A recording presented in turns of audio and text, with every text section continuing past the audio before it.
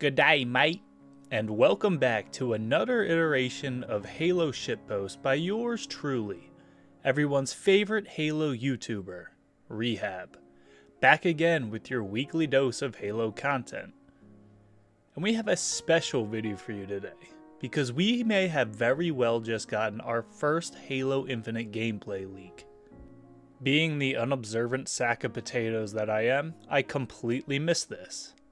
I actually didn't hear about this until I checked out Halo Follower's video on it. I'll link it in the description. But this leak was part of the video that dropped on the Halo YouTube channel run by 343, titled We Are 343 Industries. It was sort of a hype video for the studio for all that they're doing and working on with Halo. But around the 5 minute 30 second mark, there's a scene with some gameplay playing in the background. Gameplay that doesn't look like it's any Halo game we've seen before.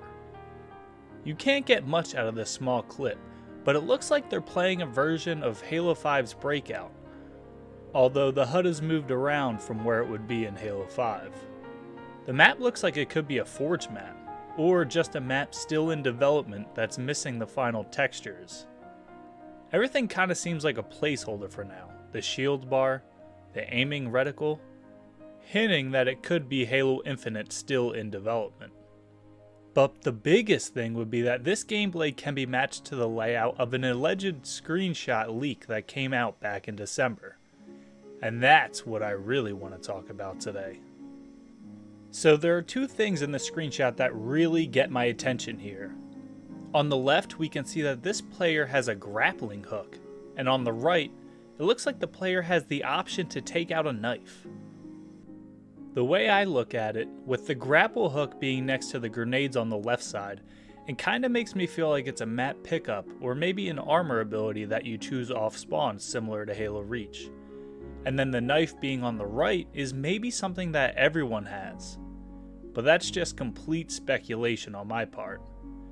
But regardless, I want to just talk about what this could mean for Halo Infinite because frankly, my first reaction is just, ugh.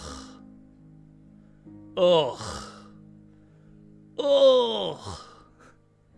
The initial thought of grinding the ranked arena playlist with players grappling around like a bunch of cracked out Pathfinders makes me feel like this game isn't gonna be for me.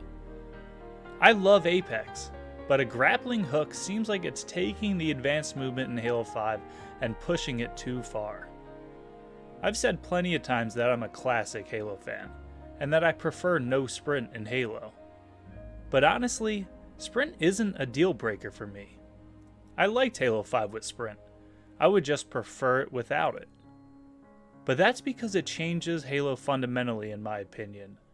Instead of the game being centered around holding power positions, it's more about abusing movement mechanics better than the other team. That is very much a skill in itself, but I just prefer the classic style. And a grappling hook is not the direction that I prefer Halo to be moving in. And I think a lot of players would agree. But until 343 puts out confirmed gameplay, this is all still speculation.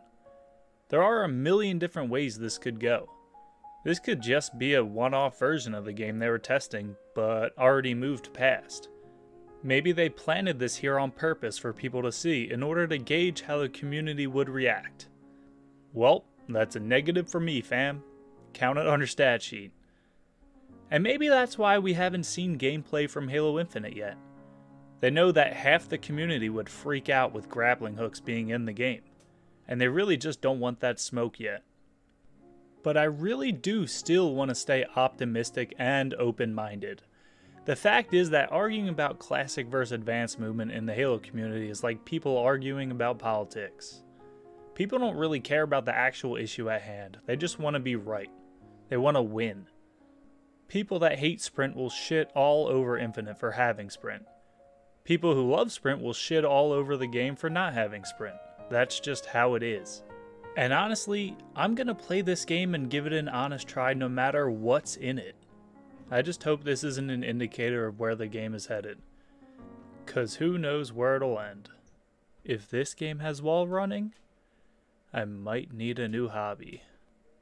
So while this definitely invokes negative thoughts in my mind, I am still open to trying it, and I am still excited for Halo Infinite.